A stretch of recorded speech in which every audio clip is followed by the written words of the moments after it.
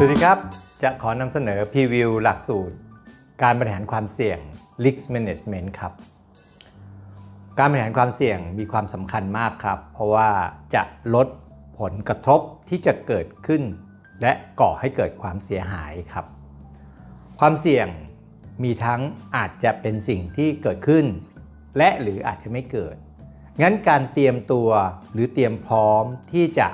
บริหารความเสี่ยง หรือจัดการความเสี่ยงนั้นก็เป็นต้นทุนอย่างหนึ่งครับ หากเตรียมตัวมากไป ก็อาจจะไม่คุ้มค่า หรือหากไม่ได้เตรียมตัวหรือเตรียมตัวน้อยไป เวลาเกิดผลที่เกิดขึ้นแล้วก็จะก่อให้เกิดความเสียหายที่ค่อนข้างรุนแรง เป็นการเสียหายที่มากครับ หลักสูตรนี้จะทำให้ท่านเห็นภาพของความเสี่ยงคืออะไรครับ เพื่อเราจะได้เกิดความเข้าใจว่า อะไรเป็นความเสี่ยงบ้าง เราจะได้ทำความเข้าใจสิ่งที่กำลังจะเกิดขึ้นกับองค์กรของเราครับ หลักการบริหารความเสี่ยง ความหมายของความเสี่ยง ก็จะทำให้เรามีแนวทางที่จะดำเนินการครับว่า เราจะเตรียมตัวหรือจัดการหรือบริหารความเสี่ยงอย่างไร และเมื่อเกิดความเสี่ยงแล้วมีวิธีอะไรบ้างนะครับ องค์ประกอบของความเสี่ยงเกิดอะไรขึ้นมาบ้างครับ ตรงองค์ประกอบนี้จะทำให้เราตระหนักรู้ครับว่า หลังจากที่เราเตรียมตัวจะบริหารความเสี่ยงแล้ว เราควรให้ความสำคัญกับเรื่องอะไร ขั้นตอนดำเนินการมีอะไรบ้าง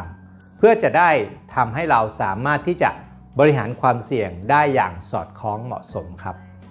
ประเภทความเสี่ยงที่จะเกิดขึ้นครับ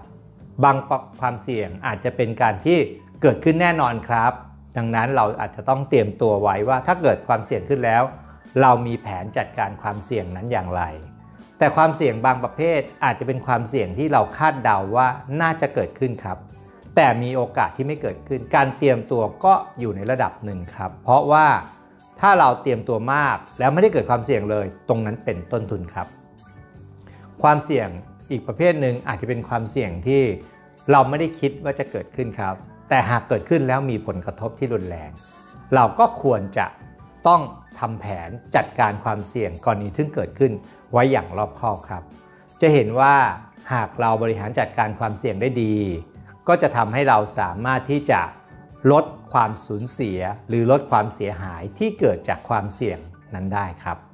ประโยชน์ของความเสี่ยงครับ ในหลักสูตรจะทำให้ท่านเห็นภาพ เพื่อจะจูงใจให้เรา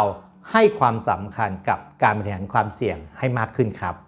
เพราะอะไรครับ เพราะว่าหากเรา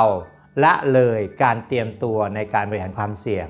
และความเสี่ยงนั้นบังเอิญเกิดขึ้น ตรงจุดนี้นะครับ ความเสียหายที่เกิดขึ้นก็อาจจะทำให้องค์กรเกิดความเสียหาย เพียงแต่ว่าหากเราเตรียมตัวมากไป ความเหมาะสมของการบริหารความเสี่ยงนั้นอยู่ตรงไหน นี่แหละครับคือหลักการบริหารความเสี่ยงที่เราจะเรียนรู้กันครับฉะนั้นความเสี่ยงเป็นสิ่งที่เราหลีกเลี่ยงไม่ได้ครับ เพียงแค่ว่าเราจะตระหนักรู้ความเสี่ยงของเรา หรือความเสี่ยงที่จะเกิดขึ้นกับองค์กรของเรา หน่วยงานของเรา มากน้อยแค่ไหน และเรามีแนวทางบริหารจัดการความเสี่ยงอย่างไร เพื่อให้ลดความสูญเสีย พร้อมสร้างโอกาสในการพัฒนา กระบวนการทำงานของตัวเราด้วยครับ หวังว่าหลักสูตรการบริหารความเสี่ยงจะเกิดประโยชน์กับองค์กรของท่าน ขอบคุณมากครับ